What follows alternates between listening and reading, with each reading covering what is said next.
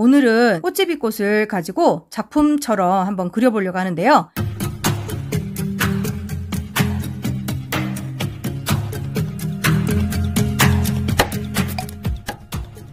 안녕하세요. 수편아트 이원장쌤입니다. 꽃제비 꽃을 제가 찍어놨어요. 그래서 대충 이런 형태로 그림을 그리려고 모양을 먼저 스케치를 해야 되거든요. 스케치가 잘 안 되시는 경우는 사진을 뽑으신 다음에 네, 확대, 축소, 복사하셔서 본인이 그리고자 하는 네, 작품에 맞는 사이즈를 만들어서 기름종이에다가 옮겨 그리시거나 아니면 얇은 비닐에다가 옮겨 그리시고 먹지를 대서 위에서 도안을 뜨시면 쉽게 그리실 수 있어요. 그 방법도 제가 다음 시간에 한번 알려드리도록 할게요. 스케치를 먼저 하겠습니다.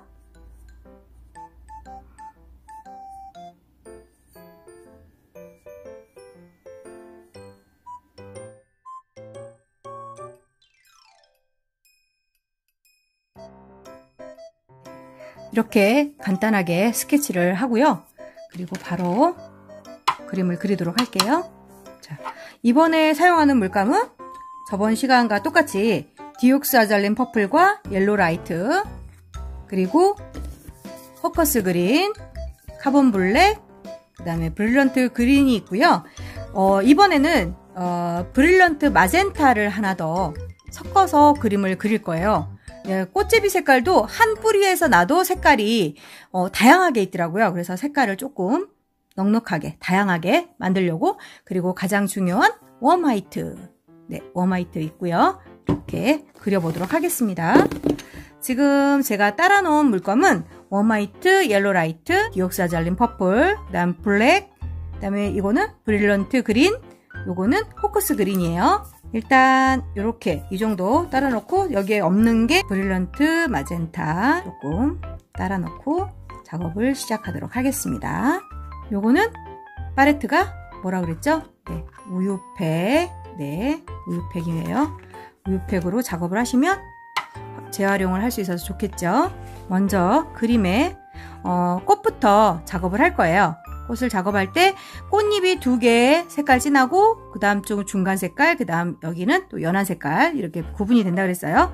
근데 꼭 꼭 그 색깔을 해야 될 필요는 없어요. 여러분들이 좋아하는 색깔을 선택하셔서 하시면 될 것 같아요.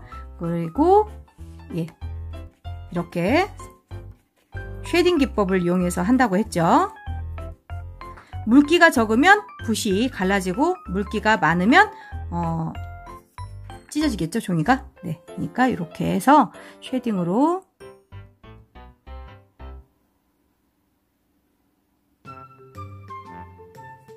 이렇게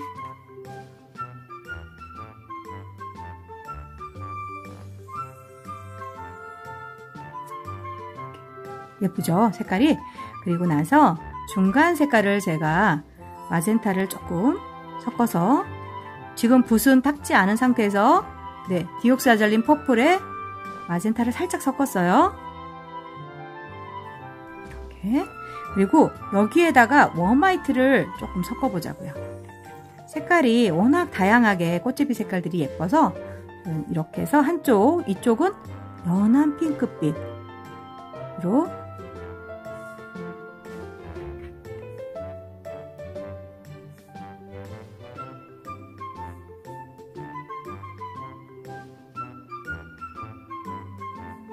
이렇게 만들었어요. 그리고 나서 웜화이트 그 다음에 마젠타에 조금 이 상태에 여기 위쪽에 이런 식으로 색깔을 연하게 퍼플에서 시작해서 핑크와 예, 연피크까지 나갈 수 있게 제가 이렇게 작업을 했거든요. 그리고 저번에도 했지만 안쪽은 조금 더 어두운 색깔로 들어가 줬죠. 어두운 건 좀 연한 색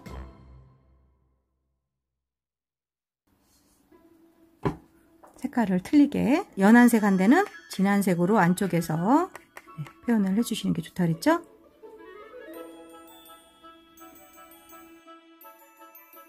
그 다음에 yellow light 가지고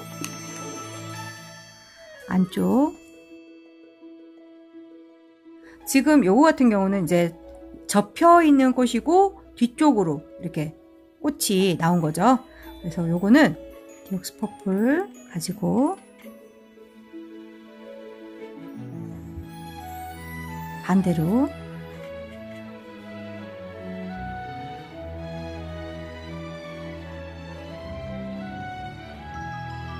반대쪽으로 살짝 보이는 데 있죠. 예, 요거는 제가 노란색 옐로 라이트를 가지고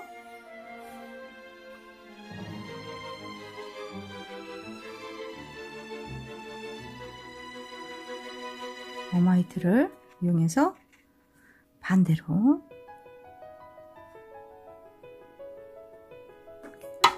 이쪽에 꽃, 음, 펴진 꽃을 작업을 할 건데요. 요거는 반대로 제가 지금 작업을 해보려고 그래요. yellow light에, yellow light에 warm white를 조금 섞어서 이렇게 크림색 비슷하게 나오면 반대로 위쪽을 밝은색으로 이렇게 작업해 주시고 마젠타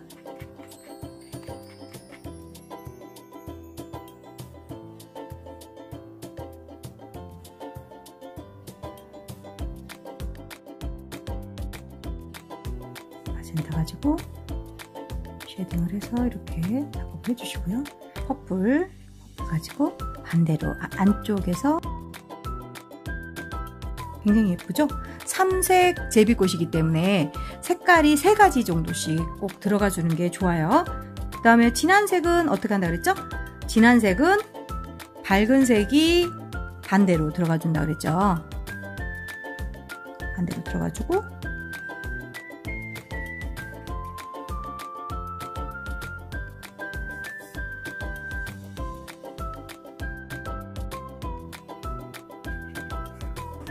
여기는 진한 노란색으로 한 번 더. 어, 이제 잎사귀가 들어갈 거예요. 잎사귀는 네, 브릴런트 그린과 포커스 그린을 반반 섞어서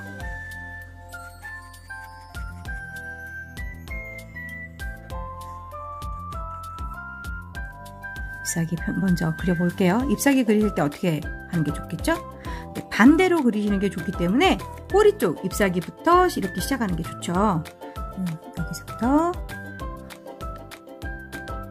이렇게 그리시면 잎사귀가 뾰족뾰족한 걸 표현하기가 어렵다는 거예요. 그래서 반대로 뒤집어서 이렇게 뒤집어서 놓으시고 작업을 하시면 돼요.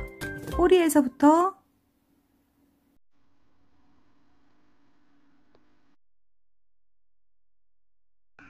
그런 다음에 위쪽에서 사선으로 봇이 약간 눕혀지면서 이렇게 쭉 일자로 뽑으시면 잎사귀가 완성이 되는 거예요. 자, 다시 한번 시작해서 뼈쪽, 뼈쪽, 뼈쪽, 뼈쪽, 네, 뾰족하게 뼈쪽, 뼈쪽 여기 반대도 마찬가지 다음에 이 붓을 납작하게 이 사선으로 시작해서 이런 식으로 펴주시면 되겠죠? 나머지 잎도 다 그리고 나서 여러분들 보여드릴게요.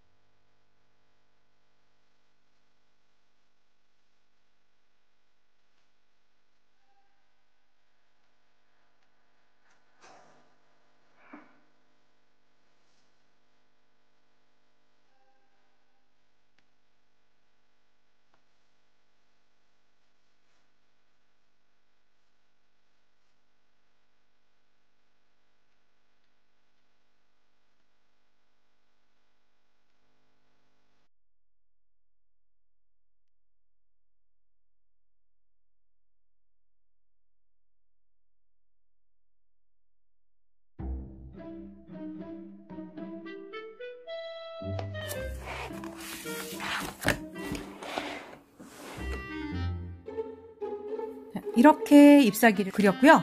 이제 잎사귀 그렸으니까 어떻게? 잎맥을 그려야 되겠죠? 잎맥도 그리고 줄기도 그려주고요.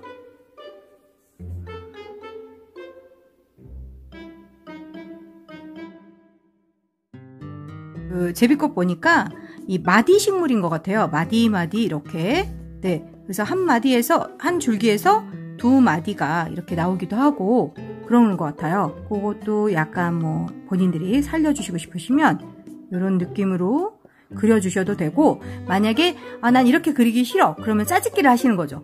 요 꽃잎과 요 이파리 여기까지만 이제 그리는 거예요. 나머지 요 밑에는 그리지 않는 거죠. 이렇게 그려도 예쁘잖아요. 네, 이렇게 어, 디에다 그리느냐에 따라서 크기나 길이 높이 네 그건 다 조정을 하시면 돼요. 줄기까지 그리고 나면 인맥을 또 그리도록 할게요. 인맥 그릴 때 블랙을 살짝 더 섞어서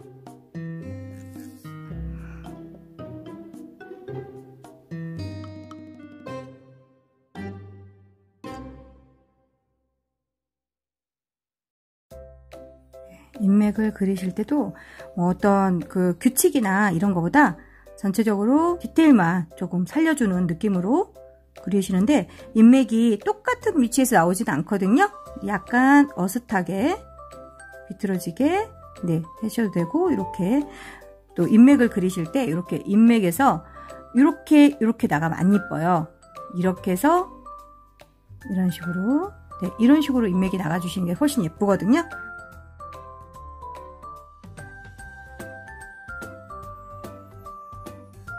인맥까지 그렸어요. 그럼 꽃을 마무리를 지어야 되겠죠? 꽃 마무리는 일단 라인부터 안쪽에다가 라인을 먼저 할게요. 검정이 조금 더 많이 들어가서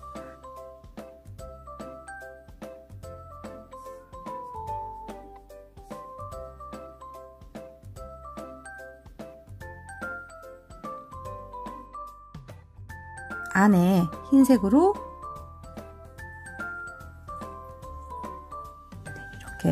표현해 주시고 여기도 마찬가지 노란색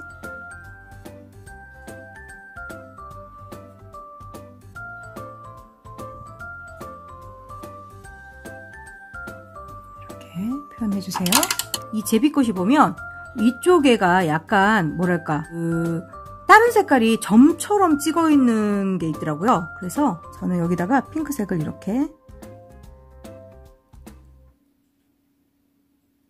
처럼 네, 찍어주려고 해요. 또 여기는 마찬가지 보라색으로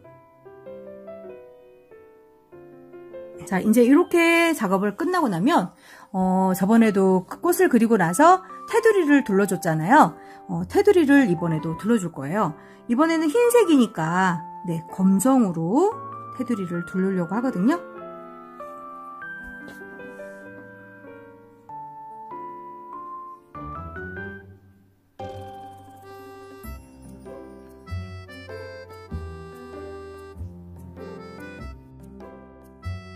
제가 이 테두리를 왜 두르냐면요. 옷에다가 그림을 그리면 어, 테두리를 해주면 좀 선명하게 작업하기가 좋아요. 그래서 제가 이 테두리를 많이 그 원단에다가 천에다가 그림을 그릴 때는 테두리를 꼭 그려줘요. 원단에다가 그림을 그릴 때는 테두리를 꼭 칠해주거든요. 선이 좀 더 선명해 보이게끔 꼭 뭐 정확하게 우리가 선을 그릴 때 뭐 좀 삐뚤삐뚤하면 어때요? 괜찮아요. 그게 그 수작업의 묘미 아니겠어요?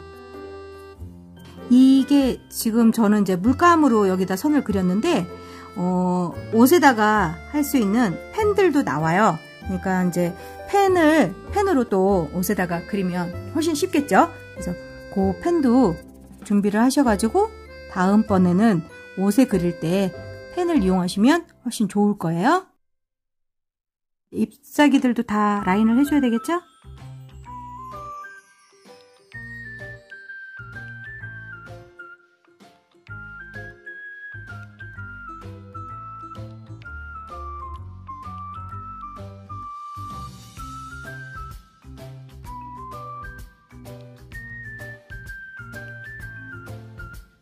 자, 이렇게 해서 제비꽃 그림이 완성이 됐습니다. 종이에다가 그렸지만 예쁘죠? 예쁘니까 저도 여기다가 네, 항상 어, 제 이름을 쓰죠.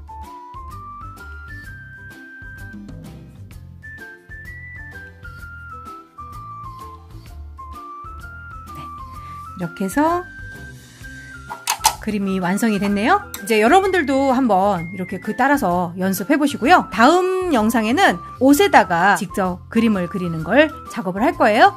제가 도안이랑 먼저 그려가지고 여러분들한테 그거 이렇게 그리는 방법 네, 알려드리도록 하겠습니다. 네, 오늘 영상 끝까지 봐주셔서 감사합니다. 오늘 영상 마음에 드셨나요? 마음에 드셨으면 좋아요, 또 구독 눌러주시고요. 궁금하신 게 있으면 항상 댓글 달아주시면 감사하겠습니다.